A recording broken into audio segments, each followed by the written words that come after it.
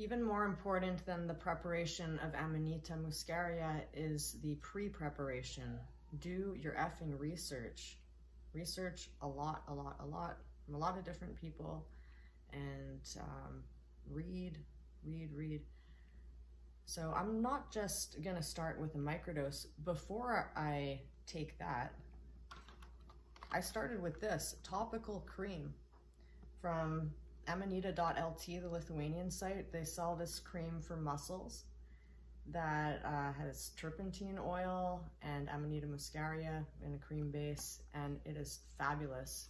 Uh, as you know, I am a healer and body worker, and this is a really, really good muscle cream. It works instantly, it really penetrates. Um, and when I I used this, not only did it instantly melt the sore muscles I had from getting back into yoga after not doing yoga in years, it was a really hardcore Ashtanga session and then was so sore and this saved the day. Uh, also got out a thing in my neck like really instantly, this uh, kind of swollen thing.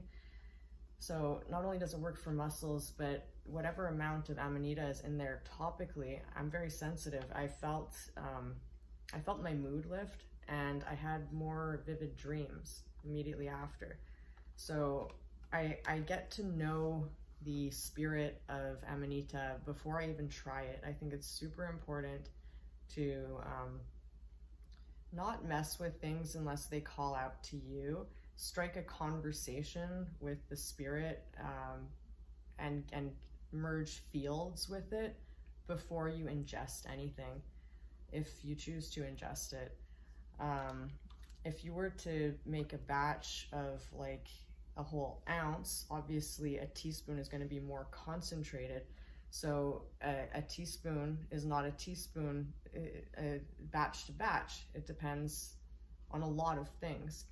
Um, the season also, uh, if I, I heard, I think the spring ones are stronger than the fall ones. I don't know. You know, uh, people who forage tend to know these more but you never know how much ibotenic acid is going to be in one mushroom compared to the next. And that's why you want to use a lot of them, even if you're just going to microdose. You want to use sterile containers to store it. And um, you want to start off small and figure out what your microdose is. Maybe it's a quarter teaspoon. Um, work your way up.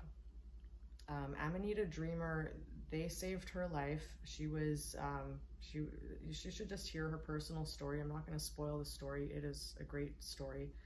Um, she her protocol to get off of benzos it was 15 grams in a batch with a cup of water boiled for 20 minutes and she microdoses three times uh, three days in a row then once every three days for three weeks and she never touched them again I don't have any benzo addiction. I don't like benzos, so I'm not using her protocol. I am using um, my own communication with the um, with with the mushroom, and um, it is nothing like any other hallucinogenic. Uh, really, nothing like that. So don't expect it to be anything like psilocybin. Uh, psilocybin is this expansive energy about the you know sacred geometry, unity consciousness. Um, you can like, I, I can control the weather on psilocybin with with a big dose, so it's it's very like connected with your environment. And what I've read about Amanita muscaria mushroom is it's it's very much an inward journey. Um, you dream on it uh, very vividly. With larger doses, you could have um, out of body experiences or feel like you're flying. So maybe that's where the reindeer um, myths come from. Um, the Siberians, uh, shamans would take it and people would drink their urine because the muscimol uh, passes unchanged through the urine, but it's already processed. So it's easier on the stomach. So basically the shaman decarbs the ibotenic acid already for the people. They drink his urine and, and they got high. Um, I have not heard of anybody in modern times who has uh, drank their urine, but uh, apparently people are, are tempted to try it on the forums, but I haven't read anybody who has. Um, all I could say is, uh, see, I haven't tried it yet, but the feeling that I have talking to the spirit, uh, with it just being in my field, having touched the spores, having smelled the um, the steam coming out of the pot, uh, handled them. Um, I have a very good feeling about it. They they also mean business. It's like God in a mushroom.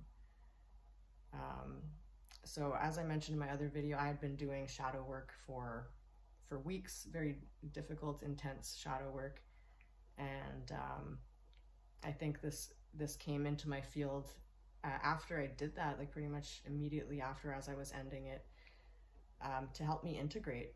Because apparently, uh, also what I've what I've heard is that if psilocybin is the alpha, Amanita muscaria is the omega, and it helps to um, integrate all of the other um, epiphanies and lessons you've learned on other hallucinogenics and um, kind of to integrate your whole uh, life experience based on the very unconscious um, programmings.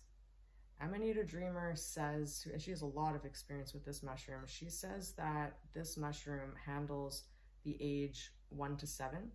So, really, the unconscious parts of ourselves, those programs that were made there.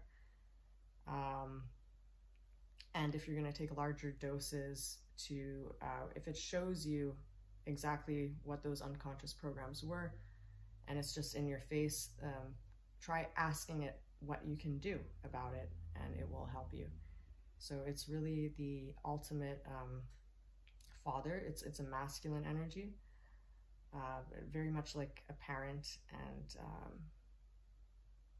it is uh, it is so high frequency, and I, I haven't even ingested any yet. So um, prepare, prepare, prepare. Don't just uh, get it and make it. You know, see how you feel. Merge fields with it. That's all I suggest. There is a pre-preparation before preparing them and maybe try something topical so you can um, get a feel for the spirit of it. And um, have a good night.